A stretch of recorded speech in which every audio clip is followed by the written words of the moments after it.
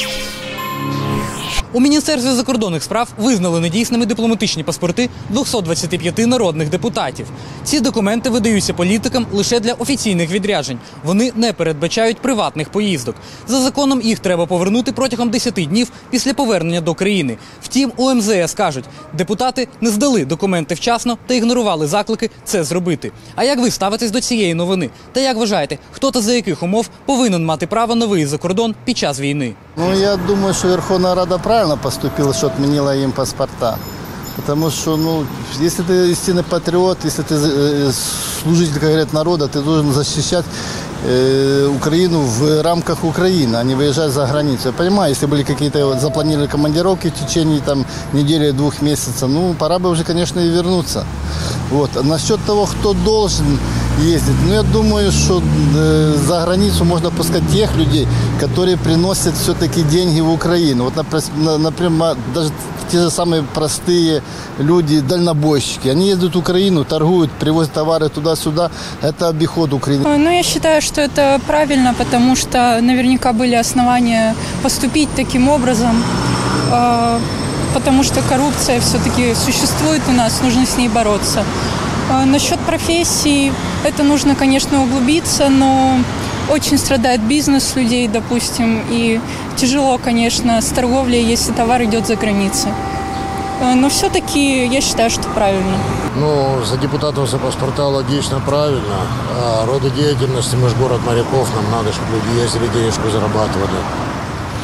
Как бы так, коротко.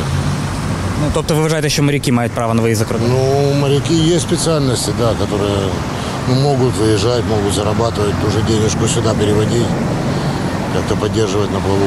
Я вважаю не дуже справедливим те, що виключно чоловіки не е, мають право виїжджати за кордон е, категорії 18-60 років.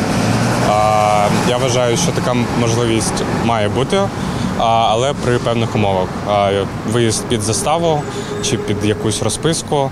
е, Але або якщо людина хоче поїхати з кінцями, е, можливо, позбавляти громадянства, тобто я за такі більш радикальні методи. Вы за, по гра- за границей осуществляет Верховная Рада, ее э, председатели э, партийной ячейки. Там есть у нас «Слуга народа» и другие партии.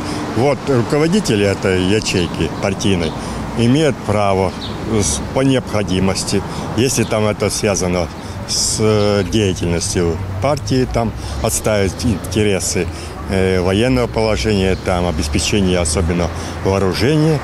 Вот я это одобряю. Я вообще считаю, что должны выезжать те, кто хотят.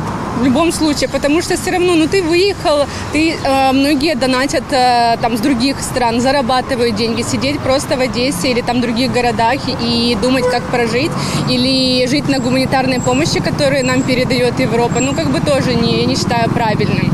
Вот. Насчет моряков, ну как бы мы только тоже вчера обсуждали это, как бы многие моряки, э, имея тут квартиры, дома, машины, они не могут вернуться, потому что они не смогут уехать на работу. И получается, они то, что зарабатывают, они тратят в Европе или в других странах, а могли бы тратить здесь и поднимать экономику.